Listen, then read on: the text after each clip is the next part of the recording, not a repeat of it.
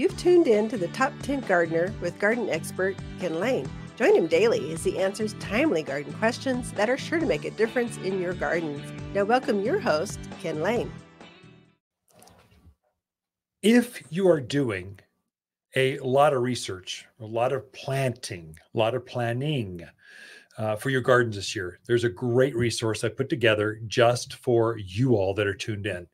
Actually, for anyone that shops here at the gardens, And everyone wants to blend digital and brick and mortar. They want a physical store, but want access to the digital piece. And well, retail, we're trying to figure this out. And we're right there with them. So, and I'm going up against the box stores, the great big guys. You know, they got unlimited resources. Well, we got create unlimited creativity and personality. And we're trying, but and we know the local plants. We know how they grow and where they grow here. Not a national.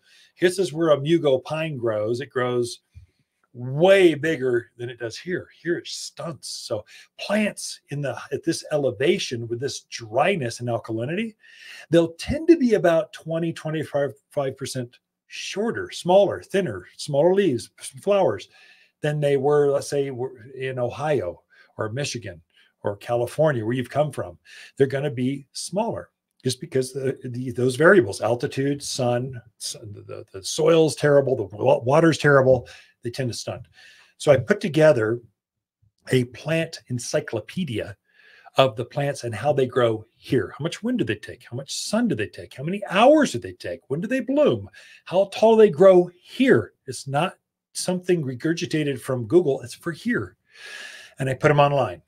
Now, it's not every single plant, so it's not truly an encyclopedia, but it's the plants that are at the garden center right now as we speak is a living, breathing inventory. You go to top 10plants.com.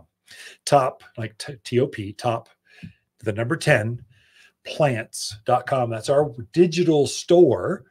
And we, as as plants hit the back dock, they get uploaded. The purchase order gets cleared, and then it uploads to our digital garden center. But the great thing is, I have a lot of folks. I'm selling some things on there. The number one thing we sell is gift cards. Always, every retailer. That's what we sell. The main main thing we sell gift cards anniversaries, birthdays, happy, you know, I'm glad you moved to Prescott, whatever. Uh, but I'm finding that a lot of folks are using that as a research tool. How does a lilac grow? What are the different varieties and what's the price of each one? What sizes do they are at Watters Garden Center today, right now? I'm trying to put more and more videos, uh, put a QR code. I'll do a video on that product and then I upload it to YouTube and I create a QR code so you can see me explaining how big this thing grows. How it, of course, the description, you got words in there too, a photo of the bloom, trying to get details for you. If you want to do some research, that is a great place. And then a special invite.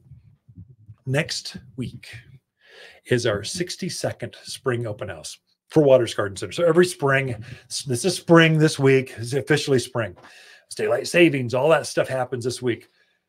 We bring our growers in from the farms and they come here and they just like to hang out with us and talk to consumers. They don't get out of greenhouses very often.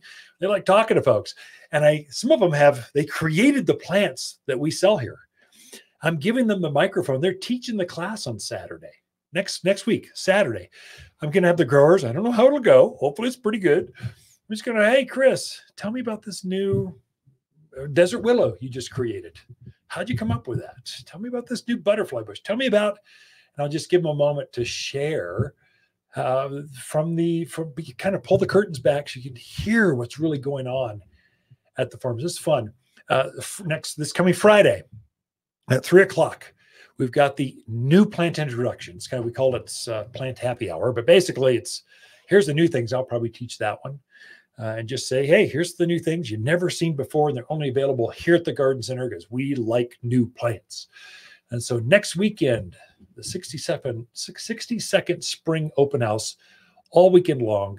Please join us. It's a hoot. If you're a gardener, you're going to have fun. If you're not a gardener, you're going to have fun.